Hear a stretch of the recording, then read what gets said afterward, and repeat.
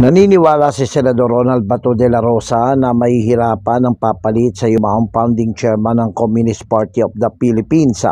Ito ang iginit ni Public Order and Dangerous Drugs Committee Chairman sa pagkasawili season na limang dekada ring nanguna sa itinatag nitong revolutionary organization kasama ang armadong grupong NPA at political arm ng National Democratic Front of the Philippines.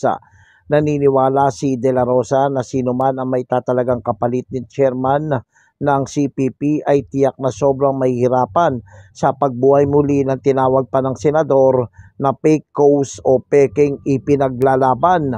Umapila naman si Senador Francis Tolentino sa sino mang papalit kay Sison na mauunawaan sana ang ipinaglalaban ng gobyerno ay para sa kapayapaan at kaunlaran. Sigurado rin aniya na magbubukas ito ng bagong pahina para sa naturang samahan. Nagpaabot naman si Tolentino ng pakikiramay sa pamilyang naiwan nitong si Sison. Ako, si Jojo Sikat, walang inaatas ang balita.